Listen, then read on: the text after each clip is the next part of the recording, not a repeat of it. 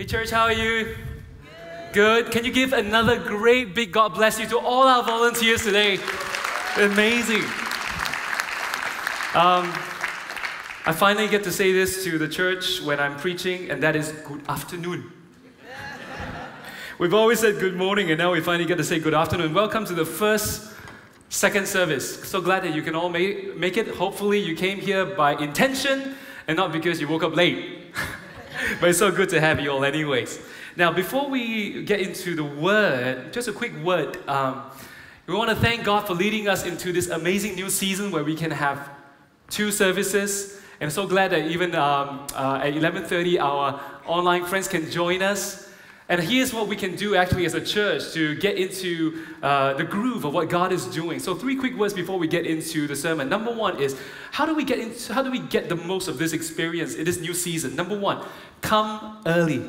Because the services are so packed and so timely that it's so good that we can come early to find our seats, you settle down, and then you get into the groove of listening and expecting God's word and His presence. Come early. Second thing is come expected. God would not lead us into this new season if God had not something amazing and wonderful for all of us. So as we come into the service, come expecting that God will speak, that you will encounter God. And the last thing is come to the front. So as much as you can, come to the front, right? Uh, this is FCC. This is not the Sea World where you're watching a show and there's, there are whales and dolphins splashing water. There is no splash zone in the first few weeks. Uh, not first few weeks, first few rows. I'm one of the preachers that splash the most, so I'm the culprit, okay? But I promise you that even if you sit on the first row, you will still be out of the splash zone. So come early, come expectant, and come to the front. And um, our amazing welcome team is here to help us to maximize this experience collectively, together. So listen out to what they say. They'll guide us to the right seats, to the right place, so that we can have the best experience together as a church. Yes? Amen? You hear that? Oh, amen. So good. So come FCC, let's do the three. All right, come early, come expectant, come to the front. How many of us are excited for the word today? I'm actually really excited because as I did this study, I feel like God is teaching me so much, and I can't wait to share this word with you. So we're, we're on this series called Is Life Worth Living? And today's sermon is on the same lines called Is Wealth Worth Pursuing? And what uh, uh, the teacher Solomon is trying to teach us now is on the topic of wealth. We're about halfway through Ecclesiastes. He has talked about toil, he's talked about wisdom, he's talked about pleasure, and how he finds everything to be meaningless. Now he's turning to the topic of wealth and how uh, he understands wealth and shows us that it too is meaningless. So let's listen to what he says in Ecclesiastes chapter 5, verse 8 to chapter 6, verse 12. Let's read it together. If you see the poor oppressed in a district and justice and rights denied, do not be surprised at such things. For one official is eyed by a higher one, and over them both are others higher still.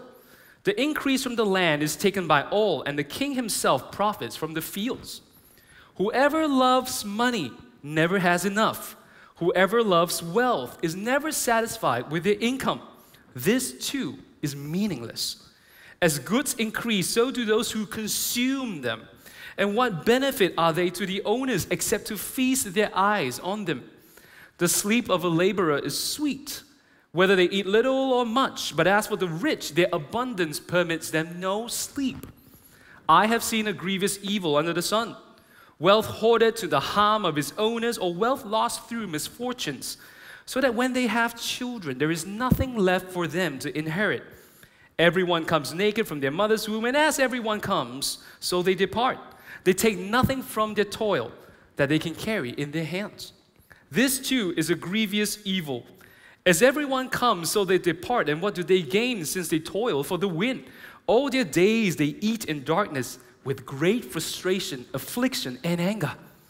Now, this is what I observe to be good that it is appropriate for a person to eat, to drink, and to find satisfaction in their toilsome labor under the sun during the few days of life God has given them, for this is their lot. Moreover, when God gives someone wealth and possessions and the ability to enjoy them, to accept their lot and be happy in their toil, this is a gift of God. They seldom reflect on the days of their life because God keeps them occupied with gladness of heart. I have seen another evil under the sun, and it weighs heavily on mankind.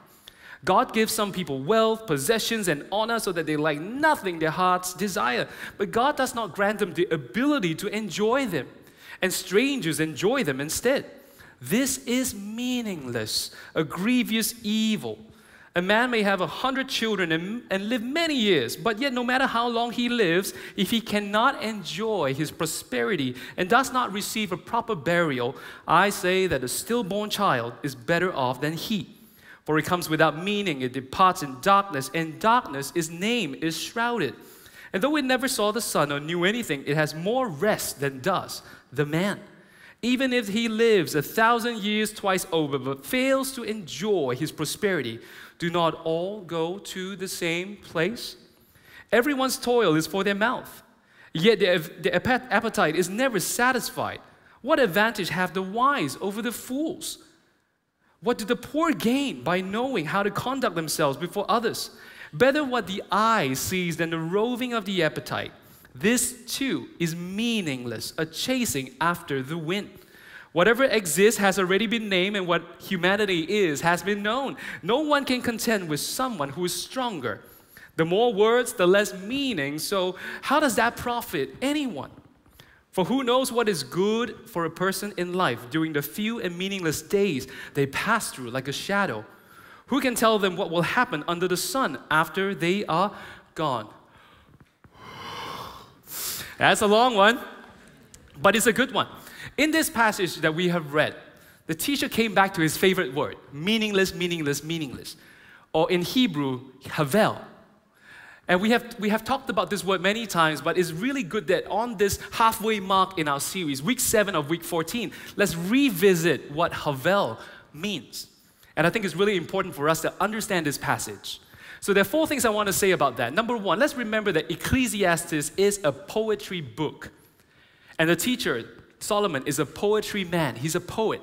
So he communicates primarily through metaphors, vivid imagery, pictures. That's number one that we must remember. Number two, the word havel in Hebrew, which is meaningless, is a noun, it's not an adjective. It's not something that is a descriptive, it's an actual thing itself. And literally, the word meaningless or havel refers to the word vapor, mist, steam, smoke. So it's kind of like saying, I ate a McSpicy from Macca's last night, and, Mac, and the McSpicy was really juicy.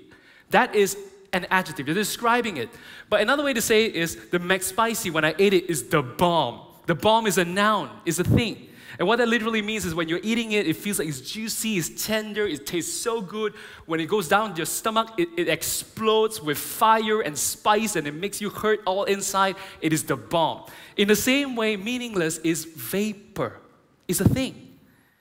And so maybe here's what we can do to help us to understand. Like all of us, if you can, just take out your phones right now. Somebody told me, um, I came from a church that, this morning they said, I came from a church that you can't bring phones into the service. Not in FCC, you can take out your phone. So if you have your phone in front of you, put your mouth really close to it, uh, if you're watching this online, please don't kiss the screen because I'm on the screen. It will look really awkward when you do so, when you're kissing the screen. So try to avoid that. Have a little bit of distance and now breathe with your mouth on it. And look at it. One more time. Let's breathe on it. Can you see the vapor, the mist that is on the phone? It's, it's there for a moment and it looks like it will stay, but it quickly fades away. It looks like you can touch it almost, but you can't really hold on to it. This is what meaningless or havel means. It's like vapor. You see it, you can't hold on to it. It looks like it's there, but very quickly it disappears. So, this is what meaningless means. And if we understand meaningless, then the word meaningless is actually quite meaningful in amazing ways, isn't it? Howard Hughes is American. He was an American back in the 1900s. At the age of 40, he was super duper rich. He made a lot of movies. One of the most famous one is uh, called Scarface. Maybe some of us who are older, you know the movie. He made the movie. And he had many actresses for his girlfriends. He led a very glamorous life. He had a few wives. He flew and test piloted exotic planes. He owned a string of hotels. He even had an airline for himself. He was rich, he was powerful, he was famous. And 20 years later, at the age of 60, he was just as rich, okay? He, the equivalent of 10 billion Aussie dollars. That was his net worth, super duper rich. He had everything in life. But the world's richest, one of the world's richest men was also sadly one of his most pathetic. What happened was Howard would lock himself up in a small dark room atop a hotel. He spent his whole day and every day locked up in a room. He would not come out. He would be naked walking around his room. And then he would watch movies over and over and over again. For one particular movie, they said he watched 150 times. By the time he was 60, his beard has grown all the way to his waist, doesn't trim himself. His hair has grown all the way down his back because he doesn't care about his hygiene. His fingernails were two inches long, and this is not for fashion, okay? It's because he didn't care anymore. Two inch long fingernails. And finally, at the age of 70, this man who had everything in life, but life held no meaning for him, he finally passed away out of kidney failure and, ironically, malnutrition for a lack of appetite for food. Now, Howard Hughes is an extreme example of somebody who is suffering from a syndrome that plagues even the wealthiest and the most rich of us. Now, the teacher, King Solomon, had everything that he could have, right? As a king, he owned a lot. And he's just as old and he's just as rich, and he looks back in life and he says, I thought about wealth and about life, and this is what I think. He comes out with two conclusions, and let's turn to them today. Number one, he found that wealth does not satisfy. In chapter 5, verse 10, he says this Whoever loves money never has enough. Whoever loves wealth is never satisfied with their income. This too is meaningless, it's vapor. And maybe some of us are saying, well, Pastor Dan, I think I'm okay because I'm not rich. I don't have a lot of money. But what the Bible doesn't say is whoever has money, whoever has wealth. What the Bible says is whoever loves money, who, whoever loves wealth. And how many of us know today that you don't need a lot of money or wealth to love it?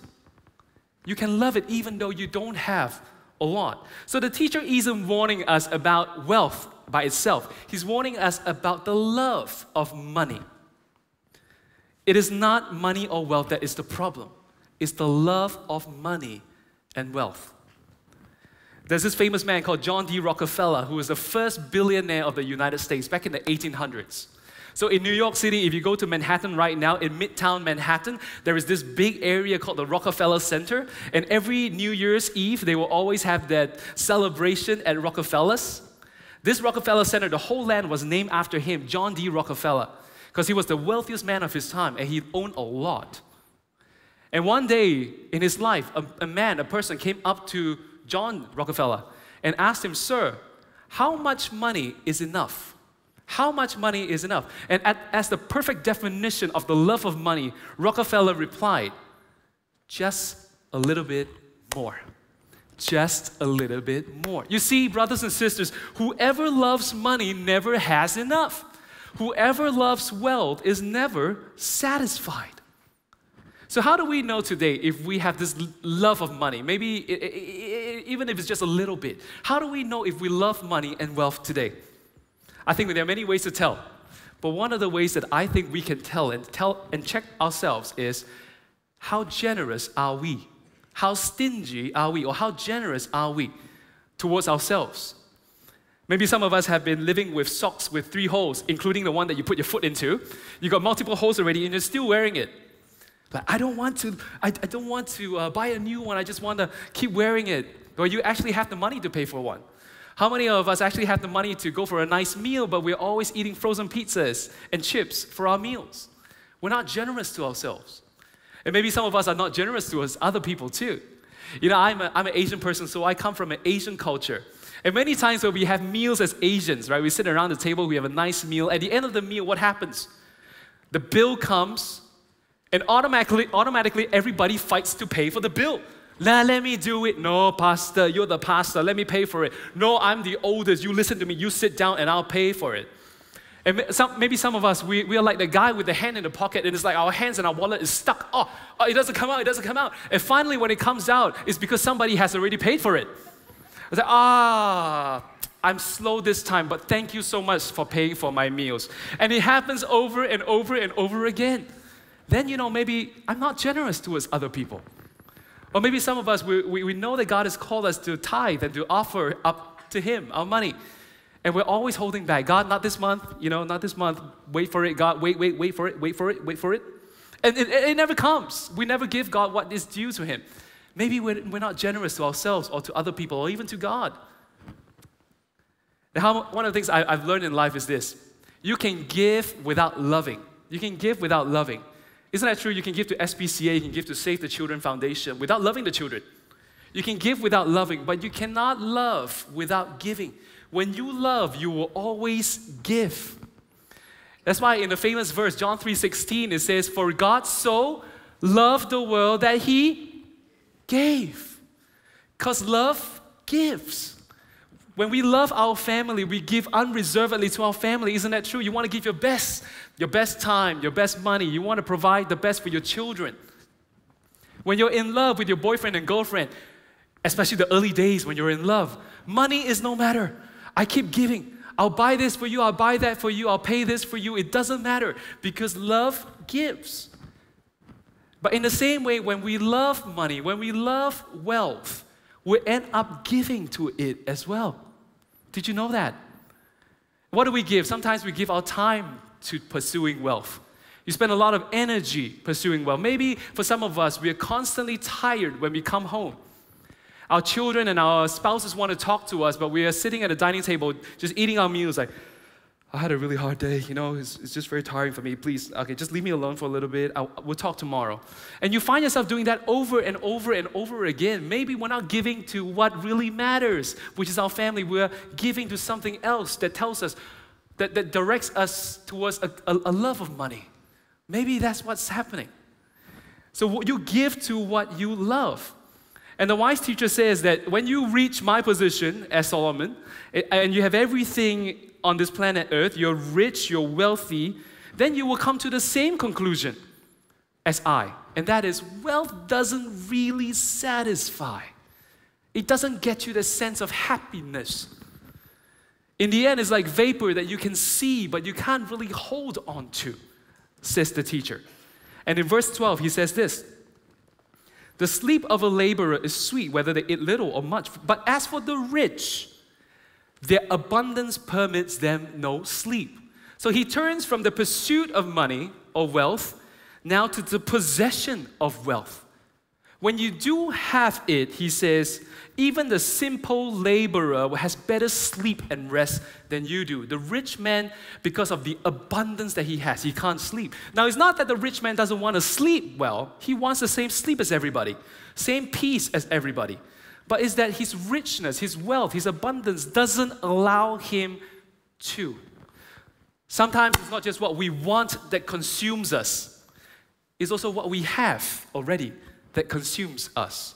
We're worried about our investments, we're worried about our house, we're worried about our cars, we're worried about our careers that we already have. When it comes to wealth, the more we have, the more we have to lose. And that's what the teacher is saying here. So for the teacher, the wealth, wealth doesn't really satisfy. In fact, the love of wealth has this insidious way of eating, eroding away at the, at the satisfaction that we can have in this present moment. Because when it comes to the love of wealth, you will lose sleep and peace either over how you can obtain it or how you might lose it. So wealth doesn't really satisfy, says the teacher. Number two, the second observation he makes is this wealth does not stay. And in verse 14, he says this Wealth lost through some misfortune so that they have children, and there is nothing left for them to inherit. And, and he's talking about a man here who's like many of us, who have children, we have a legitimate reason to guard our wealth and to grow our wealth. Why? Because we love our children. We want to give them the best. We want to give them something left over for them when they grow up. And yet, what happened to this man is that the fruit of his labor was taken away from him through misfortune. In the Hebrew, this word misfortune literally means bad business. It's a bad investment that went belly up. It's a bad business venture that came to bite him back. It's a, it might be a bad business partner that ran away with the money and had unethical business practices. Or it might be a mishap that happened to you that you didn't foresee and you lost your money. So he says that money is literally easy come and easy go. As easy as you can get money, so quickly can you also lose it. Easy come, easy go. And then he goes on in the next verse to say, naked come, naked go. Look at what he says. Everyone comes naked from their mother's womb. And as everyone comes, so they depart. Isn't that true? When you were born, you didn't come with clothes. You didn't come with socks and cute little mittens and a nice little beanie on your head. None of us were born with all these things. We came naked. And in the same way, when we leave this earth, we will leave naked as well. For they take nothing from their toil that they can carry in their hands. So, what is the teacher's point? He says, wealth doesn't stay. Either wealth will leave you because of something that happens to you, or you will leave it because you die and you will have to leave this planet. So, wealth doesn't really stay with you. That's what he's trying to say. So, instead, what do you get from trying to pursue wealth in this life? He says in verse 16 to 17 of the people who pursue wealth all their days they eat in darkness, they consume what they have, not in bright light and happiness, but in a cold, dark place. They consume their wealth in darkness. And with what? With great uh, frustration. Frustration at what? That your wealth is slowly slipping away, that you don't really get satisfied by it. And the second thing is affliction. Literally, what this means is sickness. Sickness of heart because your wealth causes you distress, stress, anxiety, and fears. And also sickness of body because you might have spent your entire health trying to pursue wealth. At the end of the day, it doesn't satisfy. Or anger, he says. Why? Because you lost money in an unfair way. You try to chase after the money, and then when you finally had it, it goes away from you, and it's unfair that loss. And you're angry with yourself, with God, with other people. This is what happens. And when we finally go, the cycle of life is complete. We came with nothing, and we will leave with nothing. Because when it comes to money, brothers and sisters, you can save money, but at the end of the day, money cannot save you. Isn't that true? And one day we will all have to depart, and money doesn't stay, our wealth doesn't stay with us. And maybe at this stage, we're going, okay, Pastor Dan, I get it, I get it. I get what the teacher is saying. Wealth doesn't satisfy and wealth doesn't stay. But we still need to have money, right? We still need to have wealth, right? So, what do we do? So, in conclusion, not, not my conclusion, otherwise, this is the shortest sermon ever 20 minutes. Wow, today's sermon is really good because it's 20 minutes. But the teacher's conclusion, he says this enjoy what you have now. So therefore, enjoy what you have now. In verse 19, he says this Moreover, when God gives someone wealth and possessions and the ability to enjoy them, to accept their lot and be happy in their toil, this is a gift from God. He says, Wealth is a gift from God. Whatever that we have and we will have is something that God has given to us. You don't have to fight for it, God gives. But at the same time, there is another gift that God gives, and that is the ability to enjoy what He has given us. And the teacher says, This is good. Now, the teacher doesn't say good many times throughout the book of Ecclesiastes. In fact, he's a party pooper, he's a wet blanket. He's somebody whom you will never want to invite to your birthday party because he's like that friend you know, that friend that we all have, that if you invite him to the birthday party, at the end of the happy birthday to you, he will sing the next line, and you are going to die too. He, he gives you a, a, a, a, picture of reality, a dose of reality. He's like that friend, you know, when you go to baby showers, it's like, oh, we celebrate this baby, this baby's so cute, just born. And then he says, well, the moment the baby started living, the baby also started dying, the cells are already dying. You know, he reminds you of all these realities. So he doesn't say good things, but in here he says, no, no, verse 18, this is good. So when he says good, let's focus on that and see what does he mean by good. There's one thing that I, I, I learned as a parent. Um, you see, I love ice cream. When I was dating my wife Vanessa, we ate a lot of ice cream. Ice cream is the way to a woman's heart, guys. It's true. And I love ice cream. And I, I ha- so I have a son, he's six years old, his name is Jude, and he loves ice cream too. So every time when I want to buy an ice cream for myself, I have to buy one for him because life is fair, right? Life is fair. So he, he needs to have one and I have one. So we eat the ice cream. And this I realized when I eat ice cream, I will hold the ice cream cone with, no, my favorite, my favorite is chocolate. So I eat chocolate and I'll lick it for two seconds, savor it. It's really good for two seconds. And on the third second, my mind begins to think about the future. Today is 33 degrees Celsius. Oh my gosh, it's so hot. In 10 seconds, this thing is gonna melt. It's gonna drip all over my hands, and I don't like mess. It's gonna drip on my fancy white shoes and my jacket, and it's all gonna get all crumbly in me. Yeah, I don't like that. I don't like that. And, and I like to eat my ice cream. I don't like to drink my ice cream. I want to have it now. And so within two minutes, I finished the whole thing. And then I turned to my son, who is still having the whole ice cream, you know, and he's licking it.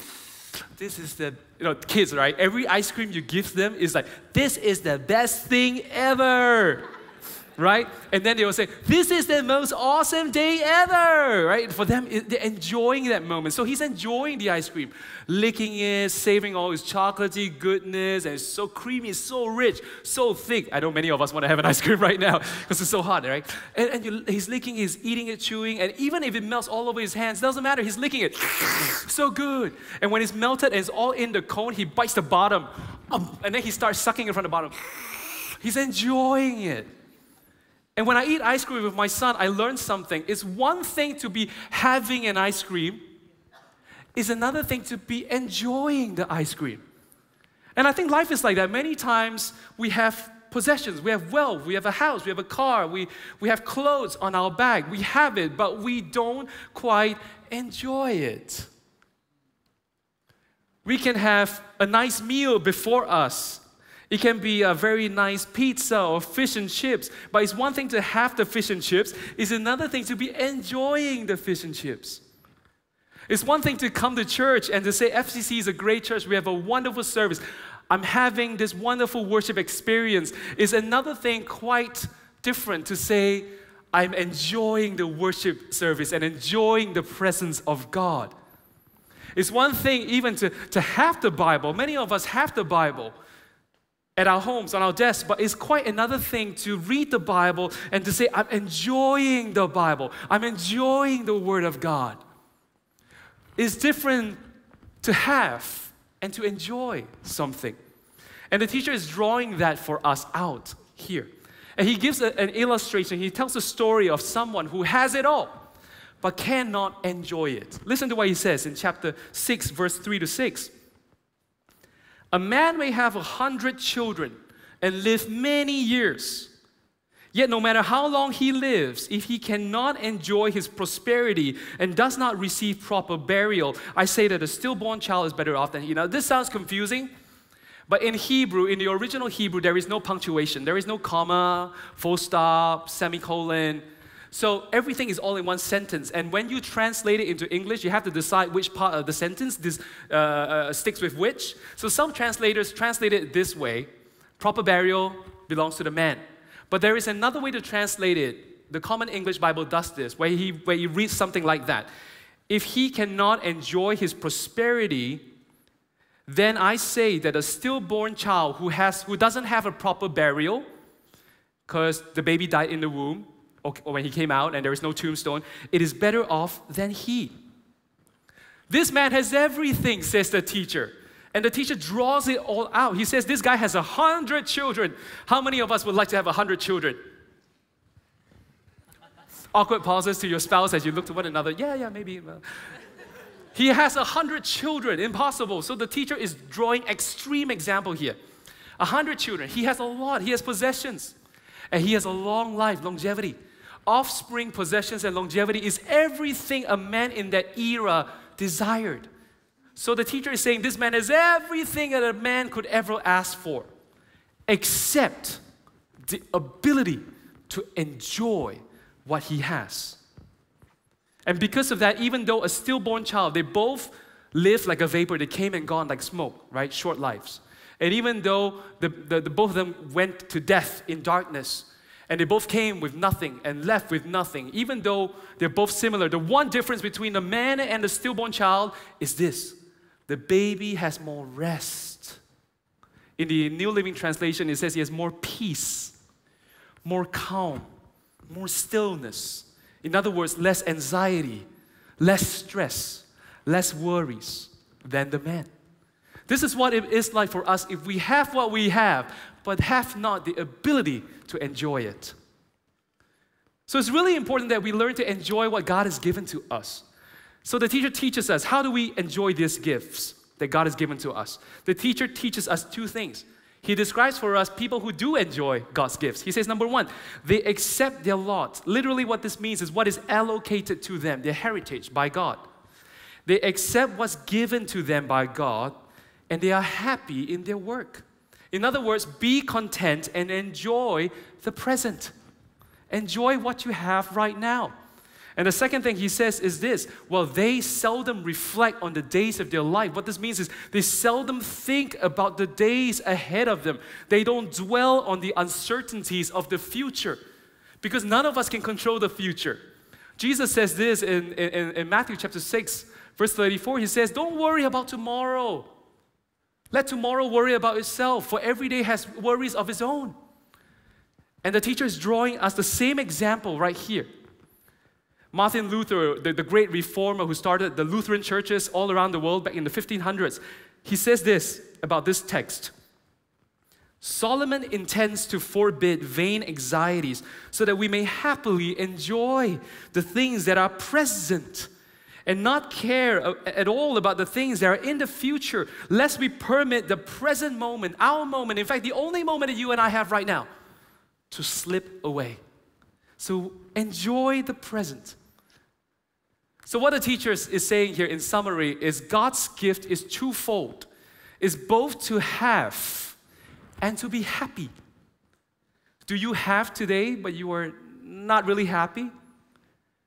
Do you not have today, and you're looking for happiness? God's gift is both for you to have enough and to be happy with what you have. And maybe some of us are asking, is it possible to have wealth and to be happy apart from God? The teacher would say, Impossible. It's not possible. Why? Because he already told us wealth doesn't satisfy, wealth doesn't stay. He already said that. And then he goes on to ask this two questions in verse 12. For who knows what is good for a person in life? What is good? Who knows? Who knows? And then he goes on to say, Who can tell them what will happen? Who knows? Who can tell? And he doesn't need to give us the answer. He, in fact, he doesn't give us the answer because he already planted clues in the verses before that. Look at verse 10 when he says this Whatever exists has already been named, and what humanity is has been known. No one can contend with someone who is stronger. He's giving us three clues, brothers and sisters, to who he's talking about. Who created the earth and named the stars, the sky, the land, the seas, the animals? God in Genesis chapter 1. God named everything that was created. God. Clue number one God. Who knows humans? Who created humans? God did. Clue number two God again. And number three, who is stronger than humankind? In the book of Job, it says that God, you overpower us as humans. You are stronger than all of us. Clue number three, God. God, God, God. So the answer to the wise man's questions, who knows, who can tell, is two things. He's answering two, two things. One, he's saying, not you, not me. Because you and I don't know what's going to happen tomorrow. We are a lot less strong than we think we are. We are a lot less in control of life and tomorrow than we would like to believe. Not you, not me, we don't know. But he's also saying, number two, God knows. God can tell. Because God is more powerful than us, He's stronger than us, and He's much more in control than we often realize. The Danish theologian Soren Kierkegaard, when he wrote a commentary on the book of Ecclesiastes, he says this When Solomon says that all is vapor, all is vanity, the point of destabilizing our trust in earthly goods, all the wealth and work and pleasure and all those things, the point of pulling the, the rug from under our feet is not to leave us hanging like, oh my gosh, what's going to happen? Life is so unstable. Life is not worth living. I don't know what's going to happen to me tomorrow. Nothing is, is, is, you know, is stable in my life. That's not the point. But he's pointing us towards somewhere else where we can hang our trust and to trust in this unshakable foundation. And that is namely God. That is God. Why? Because God created you and I. Because God made us so He knows us. Because God loves us so He is worth trusting. I don't know what's going to happen to me to God, to me to God tomorrow. I don't know what my wealth or what my finance or what my career is going to be like tomorrow. I don't know if I have enough money to hand over to my children tomorrow, God, but I will turn my eyes on you because you are that, that unshakable, trustworthy foundation. I will stop pursuing wealth and pursuing my career, pursuing my possessions, because I know at the end of the day, somehow they will not satisfy. But I know in you, God, that there is a gift that I can have that will truly satisfy me, that will enrich my life, that will give me joy and peace and foundation on which I can live my life every day. I turn my pursuit now to you, God. Today's message, we heard that wealth doesn't satisfy, it doesn't stay. So the best thing to do is to enjoy what we have in the moment. And even though God's gift is both to have and to be happy, but we learn also, more importantly, that it's impossible to have and to be happy without God. We need God. Pastor theologian in America, John Piper, he says this God is most glorified in us when we are most satisfied in Him. Are you satisfied in God today? Is your trust hanging on God today? And he goes on to say this the chief end of mankind, of you and I, is to glorify God by enjoying Him forever. God made you and I to enjoy Him, to be satisfied in Him. Church, would you just stand on your feet right now as we get into the time of worship and prayer? You put aside your Bibles and your books. And for those of us who are online, just listen to what I'm going to say. Young people, I want to speak to you for a little bit. Young people, kinetic, vibe, impact. Let me speak to you particularly in this instance. You know, wealth doesn't satisfy, wealth doesn't stay. We kind of know that, right? Millennials, Gen Zs, we know this instinctively because we grew up in a world that teaches us that wealth doesn't really satisfy. It, your purpose is not in wealth. So many of us, we see wealth not as something to pursue, but is the means in which we can pursue something else. Sense of meaning, purpose, call. So what do we do? Maybe many of us, we work three days a week, four days a week, so that we have enough money to do what we really love, what gives us joy. We can be a barista, we want to be a musician, we want to be a singer, we want to travel the world, we want to be a photographer, we want to do social justice and to have social activism, social entrepreneurship. All those things are good. We understand instinctively that wealth doesn't lead us there necessarily, but we want to pursue all these things. And even though the world is pointing our millennials and our Gen Zs to that direction, I want to tell you something right now that the world doesn't have the answer to your sense of fulfillment, your purpose, your call. It always over promises and under delivers. Because you were made to be with God. Your purpose was made to be in His image. God wants you to be enjoying Him, to be satisfied in Him. So, your purpose and your sense of call, your sense of satisfaction and enjoyment can only be found in God. And that's really important, young people. So, today we want to turn our eyes in pursuit of God. And we're going to go into this beautiful song. And in the bridge, it says this Your goodness is running after me, your goodness is pursuing me. When you pursue God, you will find that you are not the one running after God. God is running after you. He's chasing after you. God wants you. And if today your heart is to say, Yes, God, I say yes to you, I want to pursue you with everything that I have, then I invite you to come to the front and we will pray with you. Come during the song and they will pray with you. The leaders will be at the front. Let's worship.